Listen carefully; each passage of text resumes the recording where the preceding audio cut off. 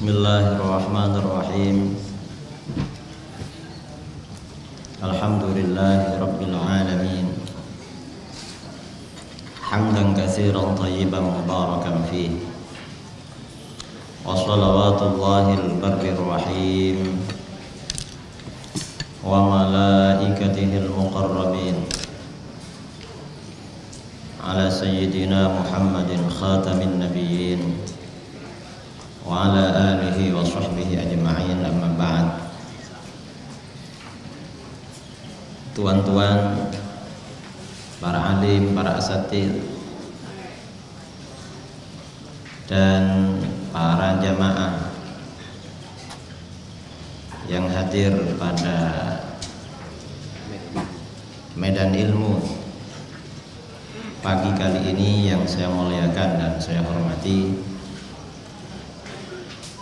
Alhamdulillah pada pagi kali ini saya nama saya Muhammad Idrus bin Ramli dari Indonesia. Selaku Dewan Pakar Ahlus Sunnah wal Jamaah di Nahdlatul Ulama berkesempatan untuk bersilaturahmi di medan ilmu ini dengan saudara-saudara kaum muslimin yang ada di Kelantan. Tajuk yang ingin kita perbincangkan pada pagi kali ini adalah tentang pendidikan anak di zaman modern dan ini sekarang masa sekarang kita ini hidup adalah benar-benar zaman modern. Dan zaman sekarang ini sangat jauh. Berbeza dengan masa 15 tahun yang lepas apalagi masa-masa sebelumnya. Jadi benar-benar sangat berbeza. Dan ini juga perkembangan teknologi juga perkembangan alat telekomunikasi yang sangat maju pada masa sekarang ini ikut berpengaruh terhadap anak-anak terutama anak-anak remaja pada masa sekarang. Karena itu pendidikan agama kepada anak-anak baik pendidikan dari orang tua pendidikan dari para ulama pendidikan dari para cikgu, para guru. Ini harus lebih diperhatikan daripada masa-masa yang telah lepas. Ada sebuah hadis Rasulullah Shallallahu Alaihi Wasallam bersabda kullu mauludin yuladu alal fitrah fa abawahu yuhawwidanihi wa yunassiranihi wa yumajjisanihi setiap anak yang dilahirkan adalah dilahirkan setiap anak yang dilahirkan ke dunia dilahirkan pada keadaan fitrah. Fitrah ini artinya anak ini mampu, anak ini bisa untuk menerima kebaikan. Anak yang dilahirkan dalam keadaan fitrah, dalam keadaan bersih. Anak tersebut akan bisa menjadi orang yang baik. Akan tetapi nantinya kedua orang tuanya yang akan menggiringnya menjadi orang Yahudi, menjadi orang Nasrani, Kristen, atau menjadi orang Majusi. Maksudnya bagaimana seorang anak itu akan dipengaruhi oleh lingkungan yang paling dekat. Kalau pada masa-masa silam orang yang paling dekat dengan seorang anak adalah orang tua. Karenanya sebagian besar anak biasanya meniru orang tuanya. Sama dengan orang tuanya. Tetapi pada masa sekarang Orang yang paling dekat dengan anak itu bukan orang tua. Orang tuanya, ayahnya seharian bekerja, ibunya seharian bekerja. Anak kadang ditinggal dengan pembantu di rumah Kadang dengan kawan-kawannya di sekolah Kadang dengan kawan-kawannya bermain. Orang tua tidak banyak berpengaruh terhadap anak. Dan karena orang tua tidak banyak berpengaruh, tentu yang paling banyak berpengaruh terhadap anak adalah lingkungan. Imam Sayyidina Urwah bin Az-Zubair, seorang ulama salaf, ada seorang ulama salaf Urwah bin Az-Zubair mengatakan An-nasu bi zamanihim ashbabu minhum bi abaihim. Manusia itu lebih menyerupai masanya.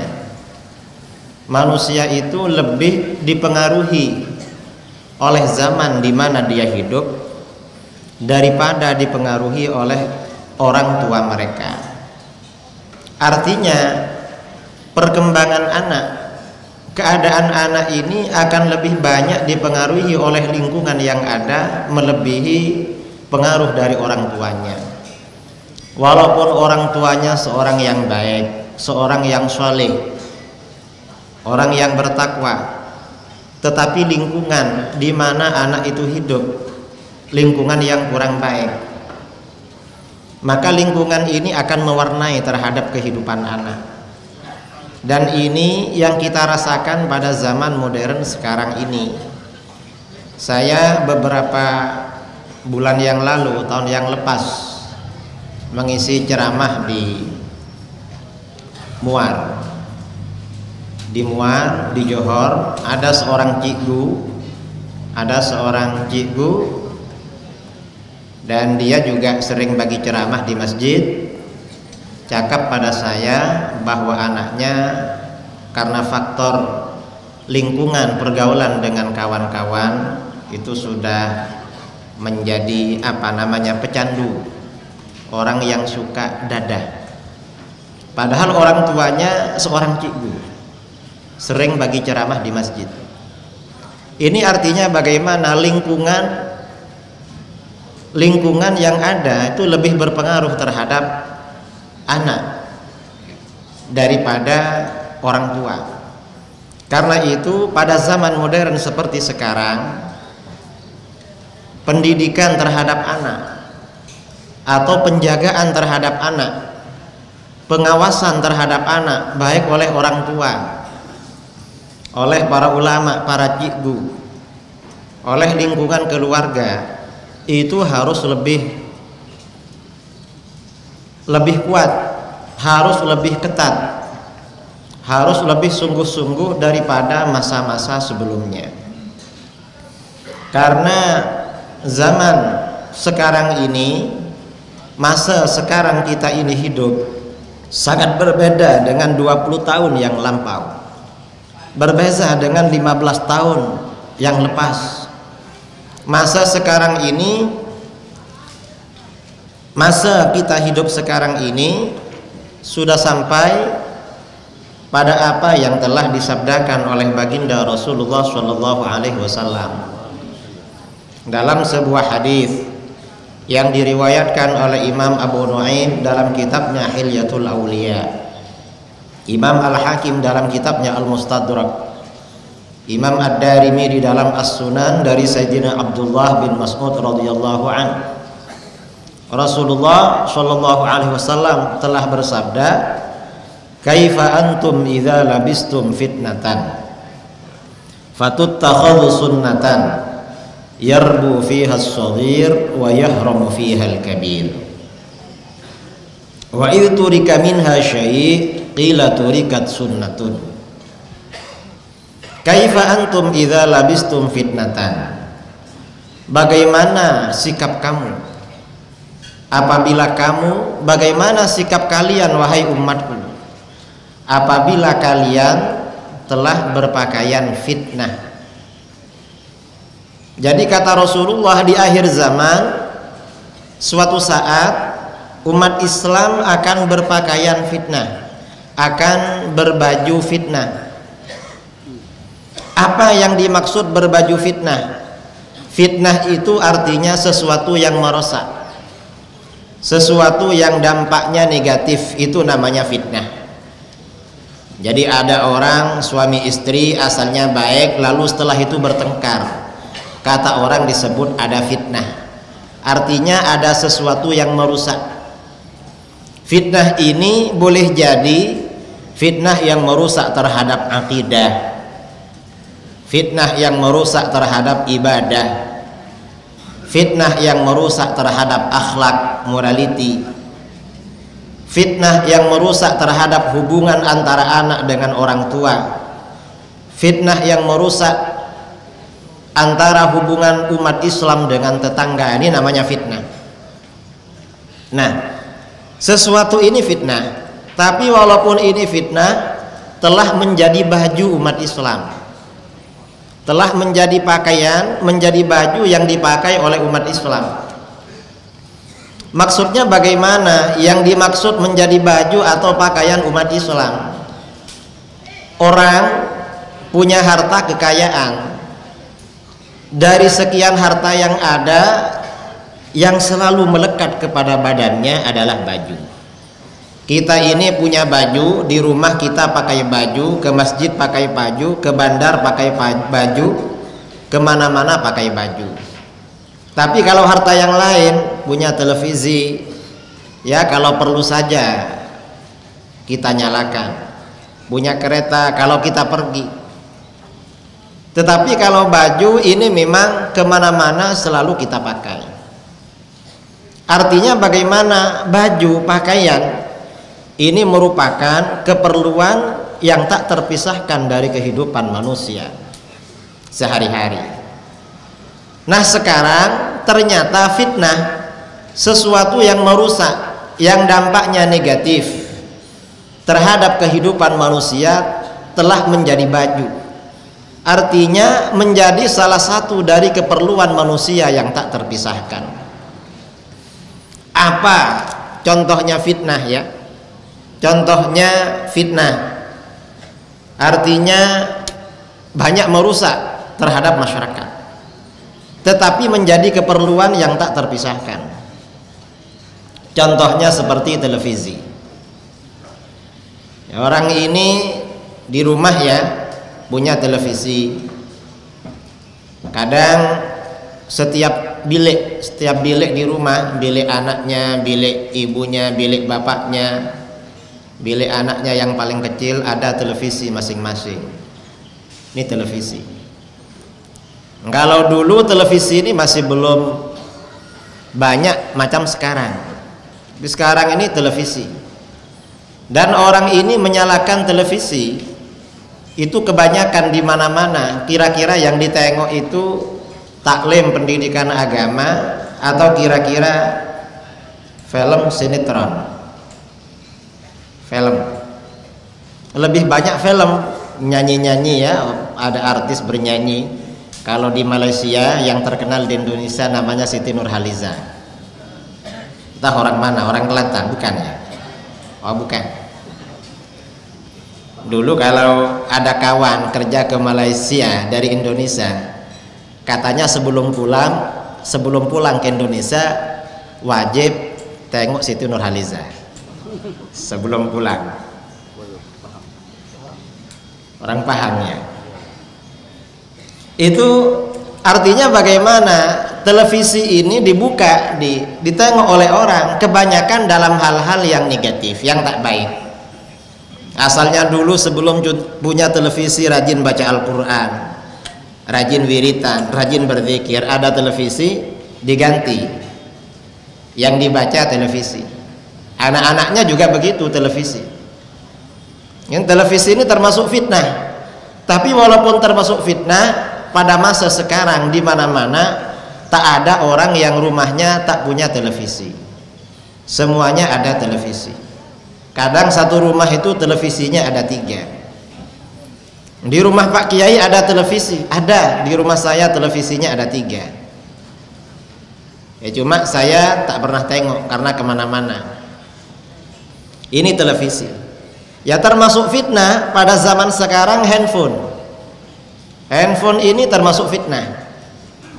Apalagi ada handphone yang mahal-mahal ya. Kalau dulu handphone ini hanya untuk komunikasi telepon kirim message sama orang. Sekarang ini ada Android. Kemudian di Android ini kita buka buka Facebook bisa YouTube. Kita bisa internetan. Namanya kalau sudah ada internet di handphone ini kita ini mau cari dari yang paling baik sampai yang paling jahat itu ada di handphone. Dan ini masyarakat sekarang ini sudah handphone ini sama dengan baju. Orang itu kadang punya baju 10 handphonenya punya tiga punya empat. Ayahnya bapaknya punya handphone ibunya juga punya abangnya punya adiknya punya masing-masing punya. Dan masing-masing punya rahasia yang ada di handphone. Ini fitnah pada zaman sekarang jadi fitnah telah menjadi pakaian. Fatut takhudhu sunnatan. Fitnah ini dianggap sunnah oleh masyarakat sekarang. Artinya dianggap perkara baik. Kalau orang dulu orang dulu orang-orang soleh punya televisi itu malu. Tapi sekarang ini mulai orang yang orang biasa, sudah ustadz, kiai, tuan guru punya televisi. Mengapa punya televisi? Kalau tak punya televisi, dia punya anak, maka anaknya akan senang di rumah makciknya, di rumah saudaranya, tak ke rumahnya karena di rumah tak punya TV. Akhirnya terpaksa punya televisi. Dan sekarang sudah tak ada malu orang punya televisi. Orang punya handphone juga begitu. Karena sudah dianggap sunnah. Kalau dulu orang itu pergi ke mana-mana ada di sakunya ini surat yasin, mushaf, tasbih. Tetapi sekarang yang ada di sakunya itu handphone. Handphone semua. Jadi sunnah fatut takhudhu sunnatan. Nah, akibat dari fitnah yang demikian luar biasa ini yarbu fi dalam hadis tersebut dikatakan budak-budak kecil anak-anak kecil cepat sekali pertumbuhannya menjadi dewasa anak-anak sekarang ini lebih cepat dewasa daripada anak-anak dulu karenanya anak-anak sekarang lebih cepat kejahatannya daripada anak-anak dulu Mengapa? Karena diajarkan tiap hari di televisi. Yang di televisi ini luar biasa pelajaran ada di televisi. Kenakalan, kejahatan anak-anak sekarang lebih cepat daripada kejahatan anak-anak dulu. Karena pengaruh dari televisi. Kalau dulu ya pada masa-masa silam budak-budak perempuan itu biasanya memasuki masa-masa haid menstruasi itu kalau sudah berusia 13, 14, 15 tahun. Tapi sekarang masih di sekolah rendah. Di sekolah rendah itu sudah di Indonesia sudah haid. Ya karena pengaruh dari fitnah yang ada ini. Nah, ini artinya bagaimana pada masa sekarang di mana fitnah ini semakin banyak. Kita selaku orang tua, selaku para ulama, selaku para cikgu, selaku masyarakat ini dituntut sudah ini semestinya melakukan penjagaan kepada anak-anak yang lebih besar, lebih kuat daripada masa-masa yang lalu. Mengapa? Karena cabaran yang dihadapi anak-anak sekarang jelas lebih berat lebih banyak daripada yang dihadapi oleh kita dulu ketika kita masih masih budak-budak dulu ketika kita masih budak-budak orang masih belum punya kereta ya belum punya motor ke mana-mana kadang jalan kaki tapi sekarang ini anak kita sudah naik motor naik kereta ke mana-mana. Kita tak tahu setelah keluar yang dikerjakan apa. Dan ketika anak kita ada di dalam bilik kita tak tahu apa yang dikerjakan. Apakah membaca buku atau justru dia bermainan handphone dengan teleponan atau chatting dengan WhatsApp dan lain sebagainya.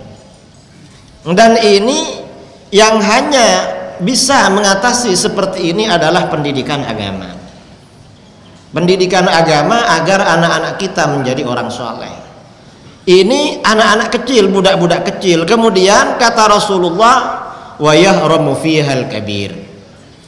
Dan akibat fitnah tersebut orang-orang yang dewasa cepat sekali menjadi tua. Orang sekarang ini yang dewasa cepat tua, beza dengan orang-orang dulu. Orang-orang dulu sampai berusia 60, 70, 80 masih sehat-sehat. Tapi sekarang ini usianya baru 40 sudah kurang sehat. 45 tambah lagi penyakit.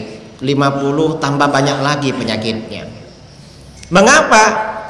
karena tekanan dari fitnah yang ada pada zaman sekarang. Anak-anaknya istrinya di rumah senang tengok TV tonton TV begitu di televisi ada motor baru anaknya minta motor Nanti ada iklan lagi yang baru anak satunya minta pula. Nanti ada iklan kulkas baru istrinya minta kulkas baru juga. Ada apa yang ada di televisi minta terus.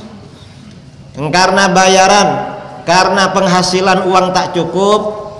Sekarang ini orang itu ingin punya kereta, ingin punya apa, kan tak perlu bayar lunas. Yang penting dia mau datang ke bank. Tinggal berapa tiap bulan. Tiap bulan bayar sekian. Nah, karena tiap bulan pikirannya dikejar bulanan bulanan harus sekian. Akhirnya yang ada di pikirannya uang terus. Gimana cari cara uang? Cara mencari uang. Karena pikirannya berputar terus pikirannya kepalanya panas. Kepalanya panas usianya masih muda tapi rambutnya sudah putih-putih kepanasan. Nanti kepalanya tambah panas lagi panasnya turun ke kaki jadi penyakit lagi. Kata orang Indonesia penyakit asam urat. Tak bisa jalan. Nanti naik lagi kena penyakit jantung dan segala macam. Ini masa sekarang. Wa il turika minha qila turikat sunnatun pada masa sekarang dalam hadis itu apabila sebagian fitnah itu ditinggalkan oleh masyarakat Orang-orang akan bercakap orang ini ketinggalan zaman. Tak ikut perkembangan zaman. Zaman sekarang kita perhatikan kita sendiri orang-orang sekitar kita membeli barang-barang yang mahal, barang-barang yang mewah. Itu kebanyakan bukan karena keperluan hidup, tetapi kebanyakan karena gaya hidup. Budak-budak ini sudah punya handphone, punya ini. Mengapa? Apakah perlu dia punya handphone? Tak perlu sebenarnya. Cuma kalau tak punya handphone, dia malu sama kawan-kawannya. Karena dianggap ketinggalan zaman. Kadang dia satu keluarga punya kereta masih bagus. Masih bisa dibawa ke Kuala Lumpur ke mana-mana. Istrinya minta ganti kereta yang baru. Mengapa? Malu pada tetangga karena keretanya jelek minta kereta yang baru jadi karena takut ketinggalan zaman dan ini sekarang uh, apa namanya yang terjadi di mana-mana seperti itu tahun 2004 saya pulang dari pondok pulang dari pondok. Selesai belajar pulang dari pondok. Waktu itu belum punya handphone. Berjumpa dengan kawan. Lalu kata kawan ini cakap pada saya kamu kenapa tak punya handphone? Saya cakap saya buat apa punya handphone? Saya pikir saya tak perlu untuk nelpon orang dan mungkin orang juga tak perlu telepon saya. Lalu kata kawan ini tak begitu sekarang ini sudah zamannya orang tak punya handphone ketinggalan zaman. Akhirnya saya cakap oke okay, tapi saya mau beli handphone saya tak punya uang. Saya baru pulang dari pondok belum kerja. Lalu kata kawan ini loh kamu ini kan kawannya kiai-kiai besar. Sering berkumpul dengan mereka. Mereka sering perlu kamu. Coba minta handphone satu pasti dikasih kata. Wah hendaklah masa ingin handphone harus minta pada orang malu akhirnya karena setelah itu saya mengajar di university jadi pensyarah di mana-mana. Terus ceramah di mana-mana punya uang beli handphone. Takut ketinggalan zaman. Setelah punya handphone bingung lagi. Mengapa dulu sebelum punya handphone berjumpa dengan kawan biasa-biasa? Tapi setelah punya handphone setiap berjumpa dengan kawan pasti yang ditanya berapa nomor handphone kamu sim card handphone kamu berapa? Setiap berjumpa dengan orang minta nomor sim cardnya. Berapa? Setelah punya handphone tambah bingung lagi. Karena kalau diam-diam yang ditunggu-tunggu ada telepon dari orang. Orang punya baru punya handphone, kalau ditelepon sama orang tuh kan senang. Jadi sudah berubah. Yang asalnya senang baca buku, baca Quran, baca ini, senang dengarkan handphone. Ini tahun 2004, 2005. Beberapa tahun kemudian saya berjumpa dengan murid saya. Kawan saya ini tanya Kiai apa handphonenya? Wah handphone saya ini mahal masih baru. Ternyata kata murid saya ini sudah ketinggalan zaman Kiai. Sebaiknya ganti saja katanya. Loh apalagi sekarang ini sudah zamannya Blackberry dulu Blackberry ya. Saya waktu itu belum tahu Blackberry itu apa.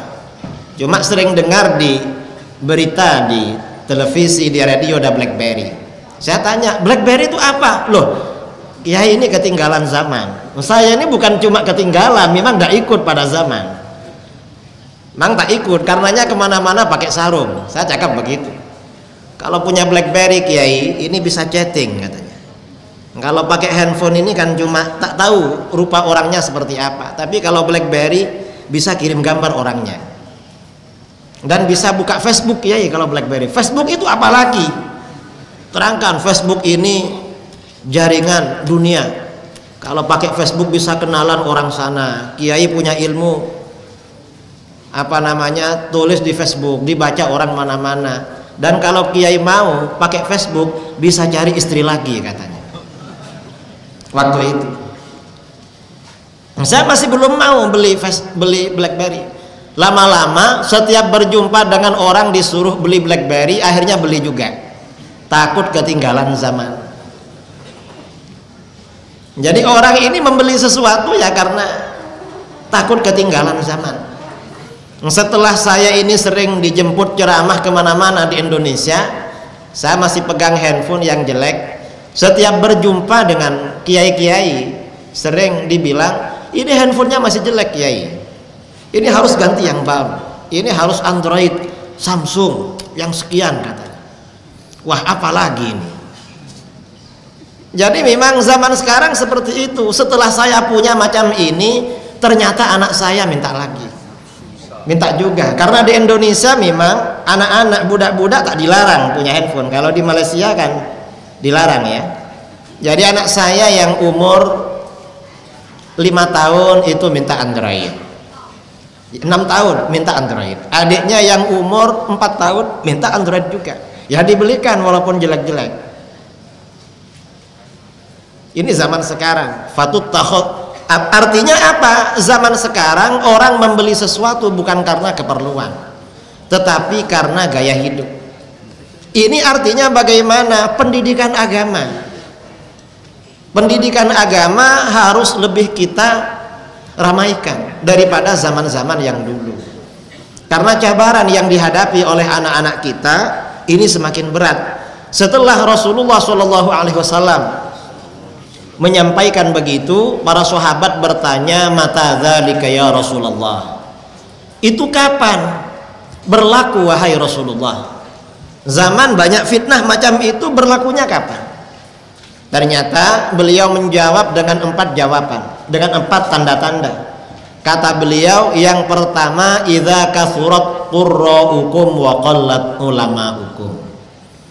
Tanda yang pertama apabila telah banyak orang yang pandai berceramah di antara kamu tetapi sedikit orang-orang yang benar-benar mengerti ilmu agama orang yang alim. Para ulama sedikit para penceramah banyak. Dan ini masa sekarang. Masa sekarang ini mencari orang yang pandai berceramah. Kalau perlu ceramahnya bisa membuat orang-orang tak ngantuk. Mulai dari awal sampai akhir tertawa terus. Sekarang ini banyak. Tapi kalau mencari ulama yang benar-benar alim sekarang ini sulitnya bukan main. Dulu di Kelantan jumlah pondok pondok agama. Di pondok ini biasanya ada ulama yang alim ilmu agamanya. Dulu banyaknya 117 sekarang tinggal 17 saja.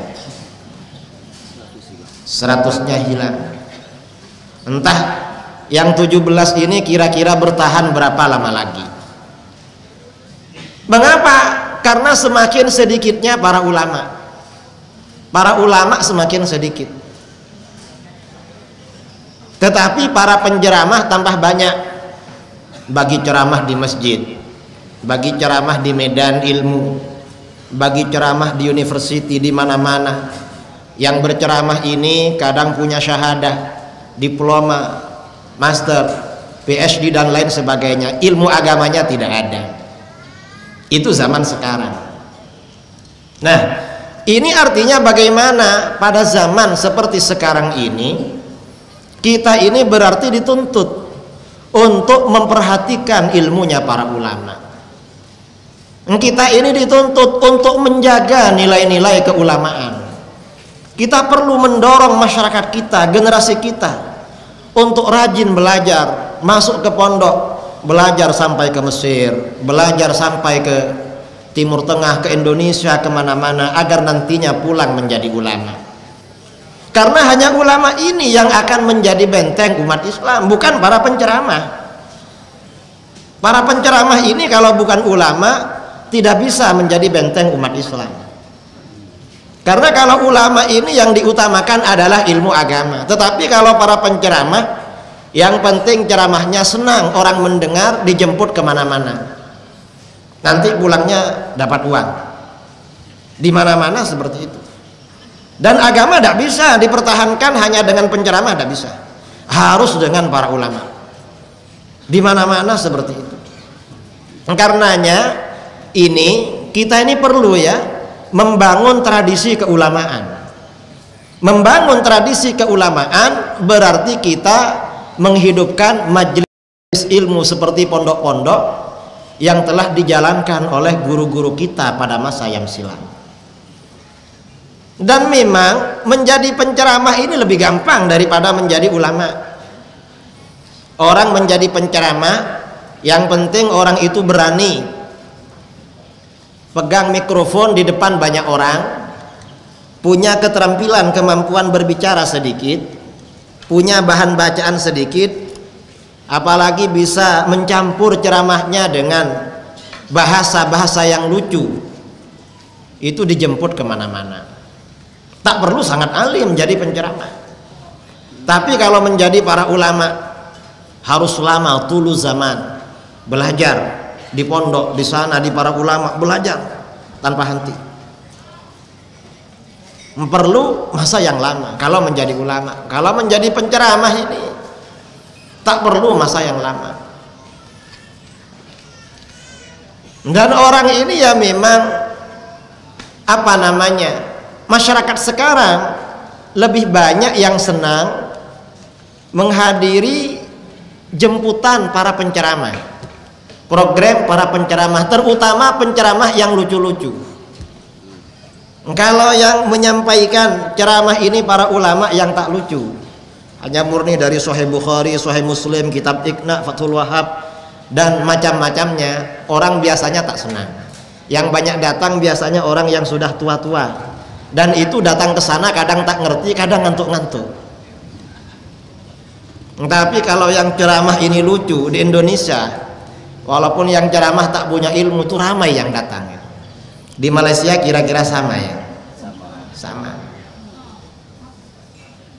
Ini pentingnya kita menjaga tradisi keulamaan.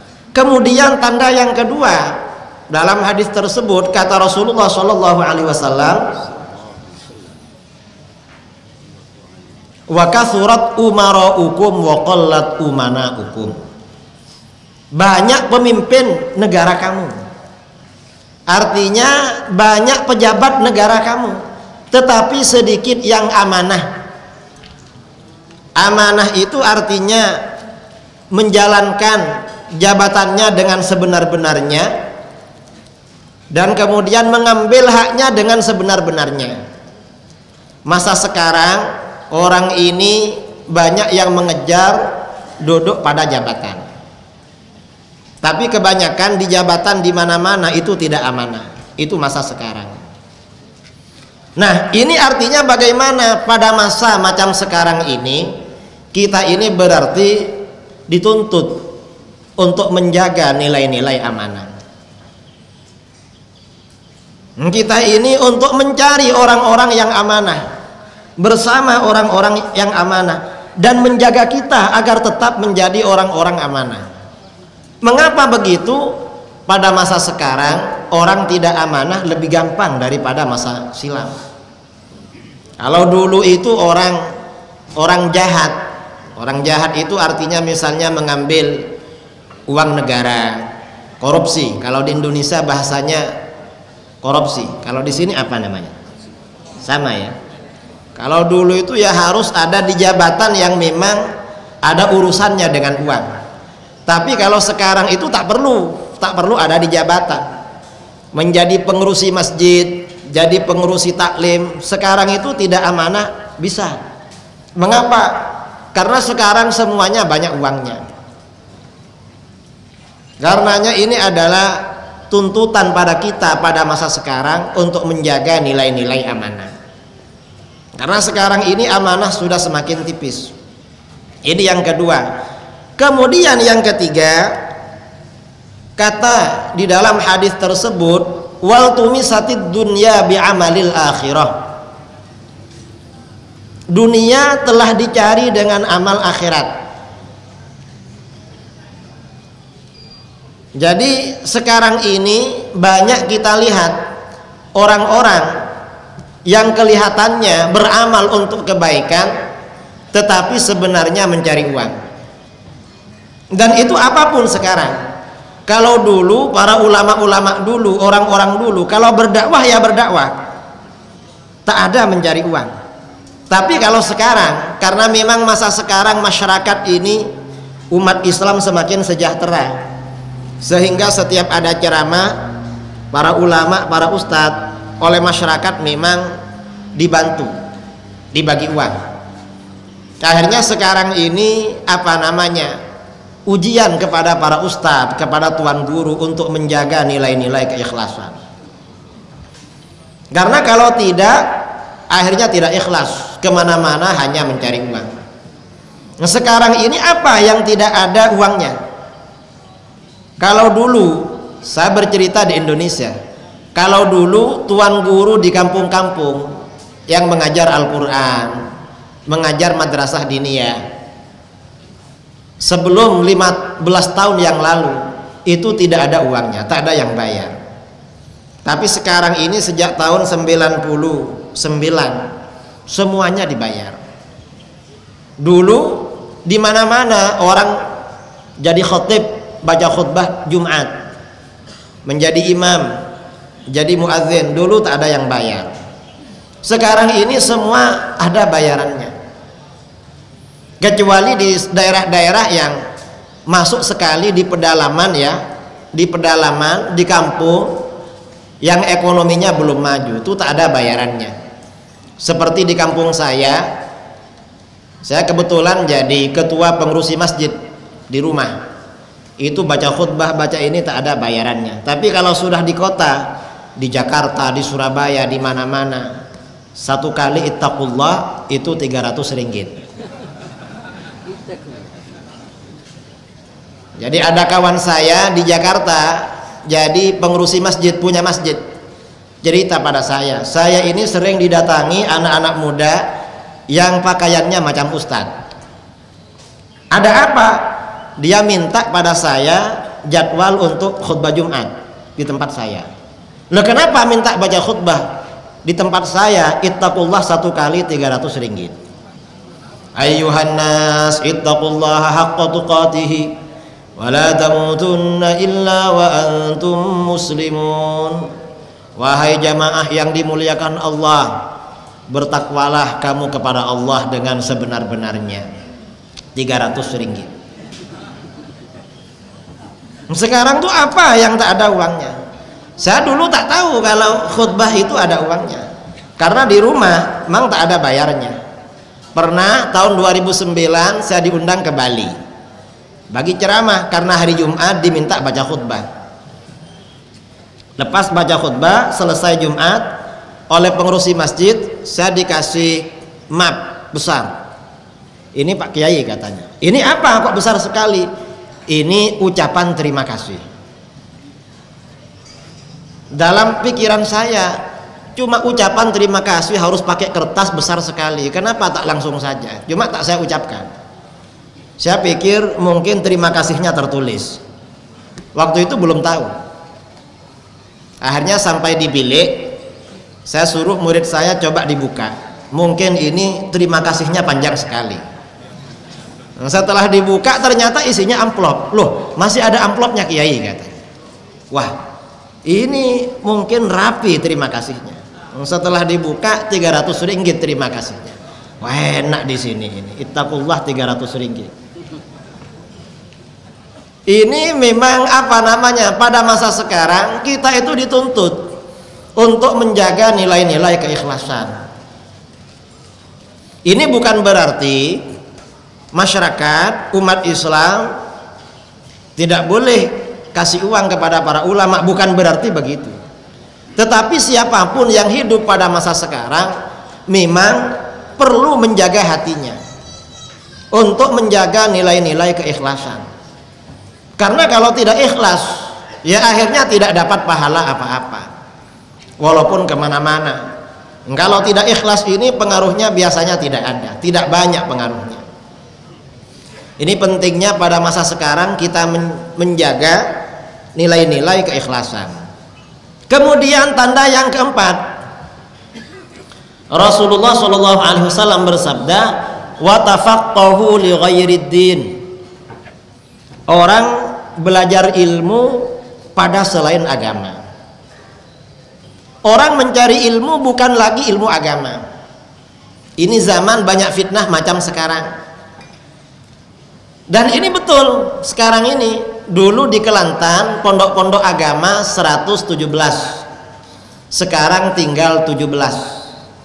Apakah budak-budak pelajar, anak-anak tambah sedikit? Tidak Anak-anak sekarang di Malaysia, di Indonesia tambah banyak. Tapi memang masyarakat ini sekarang tidak begitu senang pada pendidikan agama. Orang kalau punya anak nanti di sekolah negeri, sekolah rendah, sekolah menengah, lalu ke university. Di university nanti ada syahadah ya, diploma, kemudian nanti syahadah lagi master, syahadah lagi PhD. Nah, orang sekarang ini banyak senang mencari sijil, cari syahadah. Mengapa?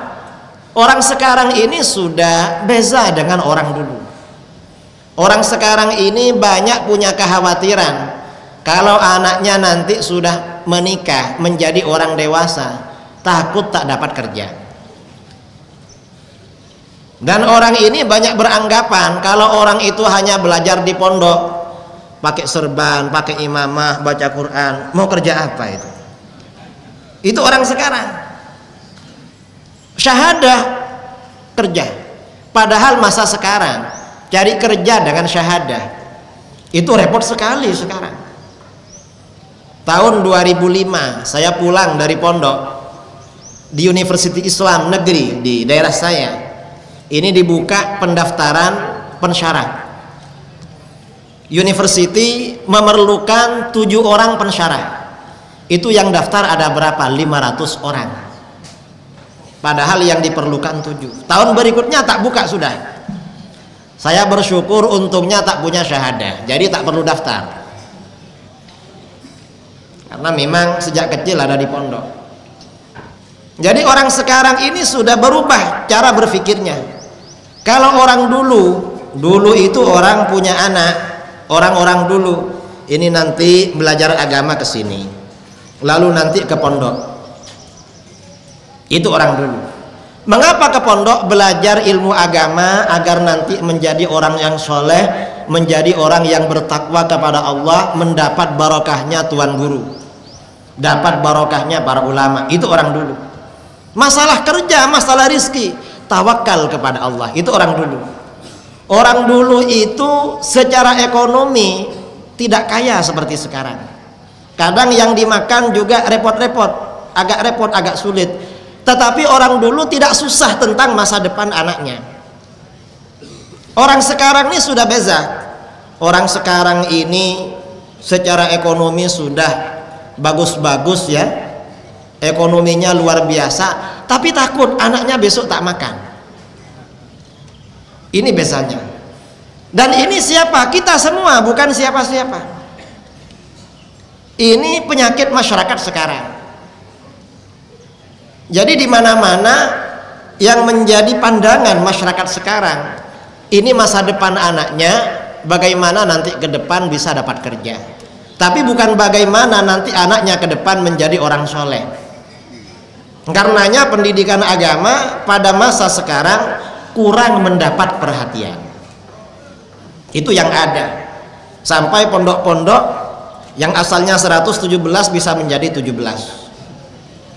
ini kira-kira yang 17 5 tahun 10 tahun ke depan nanti tinggal berapa kira-kira ini mudah-mudahan bertambah lagi amin Allahumma jangan-jangan tinggal 7 ini masa sekarang. Karenanya pendidikan anak ya pendidikan anak pada zaman modern ini perlu lebih kita kuatkan lebih kita perhatikan. Mengapa? Karena cabaran yang dihadapi anak-anak sekarang ini lebih berat lebih kuat daripada yang kita hadapi ketika kita dulu masih budak-budak masih kecil karena dulu ini televisi tak seperti sekarang dulu handphone ini belum ada kita ini berhubungan dengan orang dulu repot sekali Dulu orang masih belum banyak punya kereta, punya motor. Sekarang ini satu rumah ayahnya punya kereta, ibunya punya kereta, anaknya punya kereta sama motor. Ayahnya handphonenya dua, ibunya dua, anaknya masing-masing punya tiga handphone. Ini sekarang. Dan ini negatifnya banyak sekali kalau anak-anak kita ini tidak apa namanya, tidak kita bekalkan. Tidak kita berikan pendidikan agama. Ini sangat berat sekali. Karenanya kita yang ada di negeri Kelantan, di mana memang negeri Kelantan ini memang secara undang-undang atau sejarah kenegaraan memang bermadhabkan berasaskan syariat Islam. Ahlus sunnah wal jamaah di dalam fiqh sesuai dengan mazhab syafi'i di dalam akidah mengikuti mazhab ash'ari ini apakah benar-benar bisa berjaya? Bisa berjalan benar-benar? Ini semuanya tergantung. Apakah generasi yang akan datang banyak para ulama ada para ulama atau tidak tetapi kalau ulama ini sudah tidak ada maka yang akan terjadi dalam hadis riwayat Imam Bukhari Muslim, "Inna Allah la yaqbidul ilma intiza'an yantazi'uhu min qulubil ibad." Wa inna ma yaqbidul ilma biqabdil ulama. Sesungguhnya Allah tidak mengambil ilmu agama dengan cara mencabutnya dari hati hamba-hambanya. Tetapi Allah mencabut ilmu agama dengan mencabut para ulama. Para ulama besar ulama yang memang benar-benar ulama satu demi satu meninggal dunia. Dan para ulama ini kalau meninggal hatta idza lam yubqi aliman sehingga ketika Allah ini sudah tidak menyisakan satu orang alim ulama sudah tidak ada ittakhadhan nasu ru'usan juhalan manusia akan melantik orang-orang bodoh, orang-orang jahil sebagai pemimpin. Yang diminta bagi ceramah, yang diminta jabatan mufti, jabatan ini karena ulama sudah tak ada, akhirnya orang-orang jahil. Karena yang sudah dilantik bagi ceramah, bagi imam, bagi ini adalah orang-orang jahil, fasuilu. Kalau ada persoalan, masyarakat bertanya kepada mereka karena yang dilantik menjadi pemimpin ini orang-orang jahil. Ditanya persoalan agama. Fa'aftau bi ghairi ilmin. Lalu mereka berfatwa dengan tanpa ilmu. Karena fatwanya tidak didasarkan dengan ilmu yang benar. Fadallu wa adallu. Pemimpinnya fatwanya ini tak benar tersesat menyeleweng umatnya juga menyeleweng. Pemimpinnya nanti masuk neraka umatnya masuk neraka. Na'udzubillah min zalik. Ini pentingnya kita menjaga tradisi keulamaan. Dan menjadi ulama ini berat harus lama ada di pondok. Dan memang harus fokus belajar ilmu agama. Orang ini ya kalau tidak fokus belajar ilmu agama dah bisa menjadi orang alim. Harus fokus. Harus tak ada kerepotan lain. Ini pentingnya pada masa-masa sekarang. Kita ini menjaga nilai-nilai keulamaan. Ini yang terakhir. Ini saya mau cerita terakhir ini. Ini cerita ya. Dulu ini artinya bagaimana pentingnya orang tua mewariskan ilmu agama dan akhlak yang mulia kepada anak-anak. Lebih penting daripada mewariskan harta kekayaan dan mewariskan pekerjaan kepada anak. Pada masa ulama salaf dulu ada seorang khalifah. Kalau di sini sultan seorang khalifah yang soleh namanya Umar bin Abdul Aziz Umar bin Abdul Aziz seorang khalifah yang soleh. Karena khalifah yang soleh beliau tidak gampang menggunakan fasiliti negara. Begitu beliau dilantik menjadi khalifah dan beliau memang tak ingin jadi khalifah. Begitu dilantik menjadi khalifah ucapan pertama yang keluar dari mulutnya innalillah wa inna ilaihi rajiun Kemudian beliau diminta menaiki kuda. Kuda yang bagus punya negara. Beliau tak mau, saya punya kuda sendiri. Jelek-jelek. Karena beliau ini seorang yang soleh, beliau tidak gampang menggunakan fasiliti negara. Malam-malam kalau ada tamu, tamunya ditanya, kamu bertamu ke rumah saya, ini dalam rangka keperluan negara atau hanya silaturahmi dengan saya? Kalau tamunya ini ada keperluan negara, lampu milik negara dinyalakan. Tapi kalau tak ada keperluan negara, lampunya sendiri yang dinyalakan. Kalau tak punya lampu, tak pakai lampu. Karena orangnya soleh. Setelah beliau ini menjadi khalifah, keluarganya bukan tambah kaya, malah tambah susah.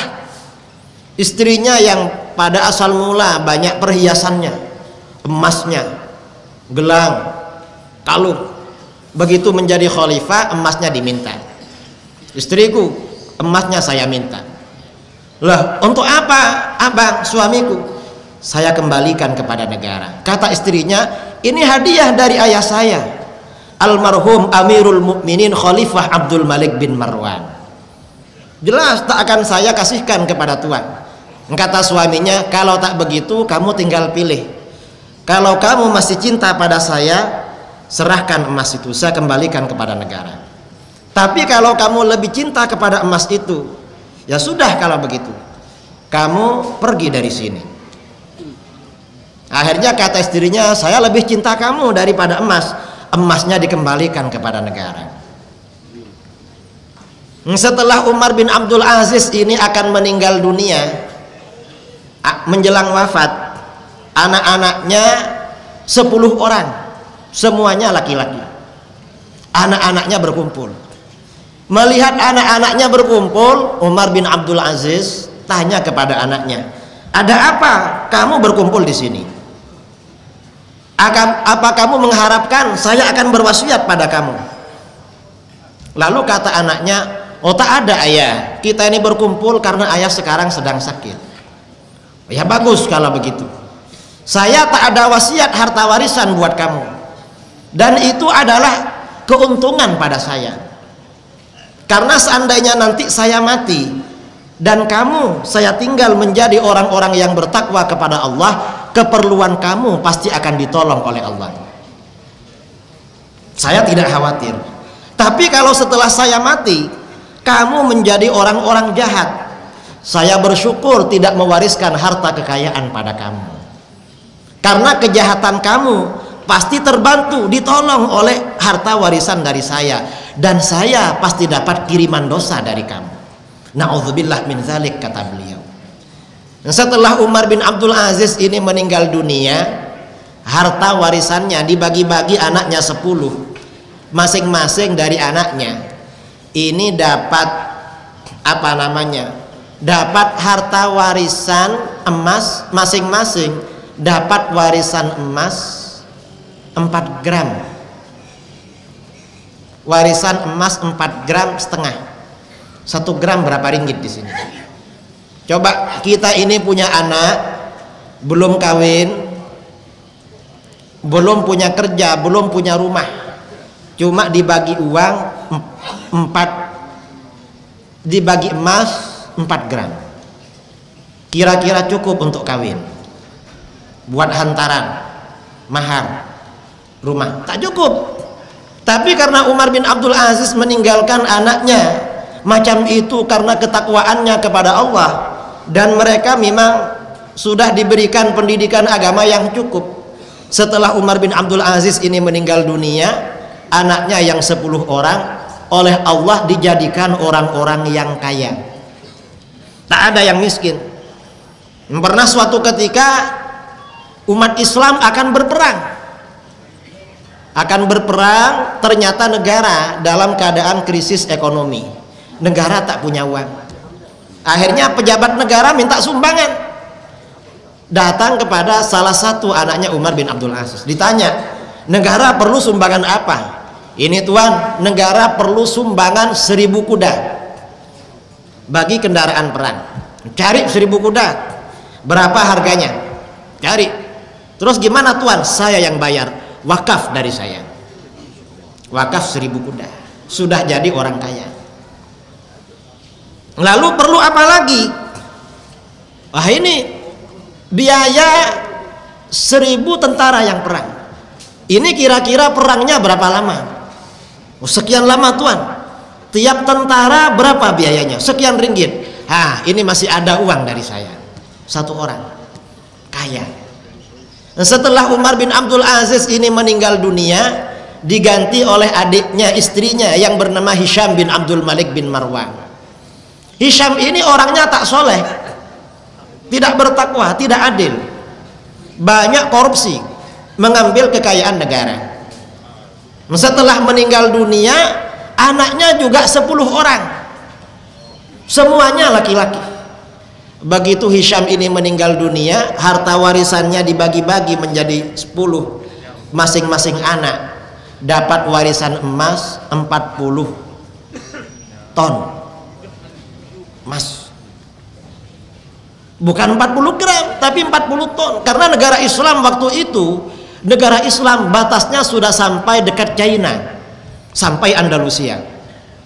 Negara Islam luas tapi karena yang ditinggalkan ini bukan diperoleh dari jalan yang baik, jadinya tidak barokah. Setelah ayahnya meninggal, tak lama kemudian anak-anaknya ini menjadi orang yang fakir miskin. Nah ini artinya apa? Pelajaran yang dapat kita ambil dari kisah ini pendidikan agama pendidikan akhlakul karimah ini sebenarnya lebih berharga bagi anak-anak kita daripada seandainya anak kita hanya kita wariskan kekayaan apalagi pekerjaan. Dan memang bagus kalau kita bisa mewariskan pekerjaan ya bagus. Mewariskan harta kekayaan bagus agar anak kita nanti tak susah. Tetapi jangan melupakan pentingnya ilmu agama. Karena ilmu agama ini lebih penting daripada segala-galanya. Nah barangkali ini beberapa apa namanya beberapa poin yang perlu saya sampaikan kepada tuan-tuan dalam majelis ilmu di Dewan di Medan Ilmu pada pagi kali ini tentang pentingnya pendidikan agama kepada anak-anak kita.